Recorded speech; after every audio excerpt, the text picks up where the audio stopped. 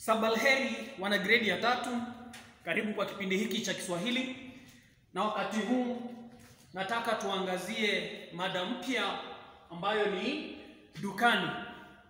Kwanza nataka tuangazie msamiati wa dukani, msamiati wa dukani, na tutaanza na neno duka au duka. Dukani ni wapi?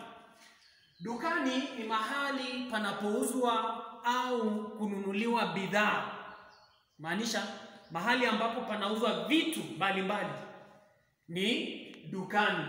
Na duka linaweza patikana mahali popote, sokoni kuna maduka na hata vijijini kuna maduka madogo madogo. Nambari mbili, bidhaa. Bidhaa ni nini? Bidhaa ni vitu vinavyouzwa au kununuliwa kule dukani.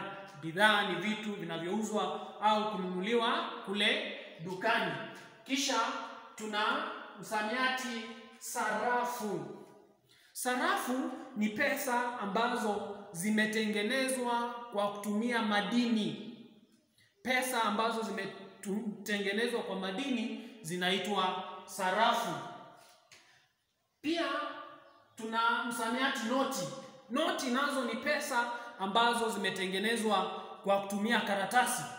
Noti ni pesa ambazo zimetengenezwa kwa kutumia karatasi.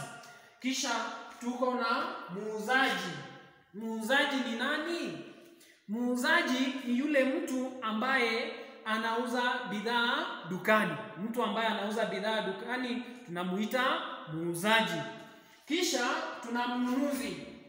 Mnunuzi naye ni mtu anayenunua bidhaa kutoka dukani. Ni mtu ambaye ananunua bidhaa kutoka dukani. Kisha tuna bei. Bei ni pesa zile ambazo naambiwa kuhusu bidhaa fulani. Kwa mfano, ukitaka kununua mkate, pesa ambazo utalipa ili upewe mkate, kwa mfano shilingi hamsini, hiyo ndiyo bei ya mkate huo. Sasa ni kiwango cha pesa unacholipia ili upewe bidhaa. Kisha mwisho tuna risiti. Risiti ni cheti kinachoonyesha bidhaa ambazo umenunua kutoka kwa duka fulani, na pia cheti hicho au risiti hiyo inaonyesha kiwango cha pesa ambazo uliweza kulipa ili upewe bidhaa. Hii ni baadhi tu ya mifano ya maneno yanayotumika dukani au msamiati wa dukani. Kuna maneno mengine mengi yanayohusiana na msamiati wa dukani. Asanteni na tuweze kukutana kwa kipindi kinachofuata.